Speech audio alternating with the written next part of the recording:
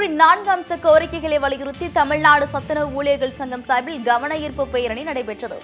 காலமுறை ஊதியம் வழங்க வேண்டும். எட்டாவது ஊதிய குழுவின்படி குறைந்தபட்ச ஓய்வூதியமாக ஒன்பதாயிரம் ரூபாய் என நிர்ணயம் செய்ய வேண்டும் என்பது உள்ளிட்ட பல்வேறு கோரிக்கைகளை வலியுறுத்தி அவர்கள் மாவட்ட ஆட்சியர் அலுவலகம் நோக்கி பேரணியாக சென்றனர்.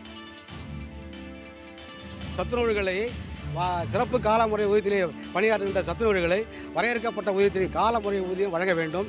இரண்டாவதாக முறையான பென்ஷன். மத்திய அரசு அறிவித்த ஒன்பதாயிரம் பென்ஷனை வழங்க வேண்டும். இருபத்தோரு மாத இருபத்தொய்வு வழங்க வேண்டும். விலைவாசிக்கு உயர்ப்புக்கு ஏற்ப மானியத்தை உயர்த்தி தர வேண்டும். மா ஊழியர்கள் ரிட்டையர்ட் ஆகும்போது அமைப்பாளருக்கு ஐந்து லட்சமாகவும் சமையல் உறவாளருக்கு மூன்று லட்சமாகவும் பணிக்கொடை வழங்க வேண்டும். இது போன்ற கோரிக்கைகளை நாங்கள் முன்னிறுத்தி இந்த மாநிலம் முழுவதும் பேர் நடத்தி கொண்டிருக்கின்றோம்.